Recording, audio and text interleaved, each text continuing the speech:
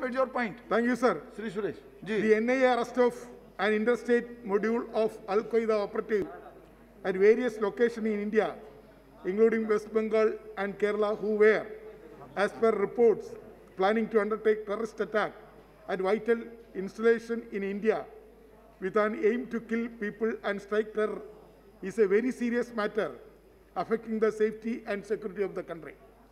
Sir, the, this incident has further exposed the shortcoming of government as it has been ineffective preventing the propagation of terrorist ideologies and functioning of terror modules in the country. Sir, the three persons, namely Murshid Hossain, uh, Yaqub Bishwas, and Masrav Hossain, arrested from Kerala, were engaged in various jobs in the state and is exposed the failure of the Kerala State Home Department and Kerala Police in gathering intelligence and preventing infiltration by extremists under the guise of seeking employment. Okay, okay. I conclude, sir. One, one, one more, one more.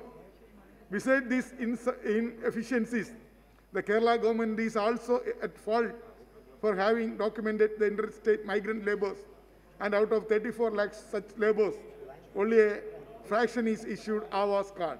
So I would like to uh, request government of India to seriously look into this Shri matter. P. Brahmananda and- Reddy.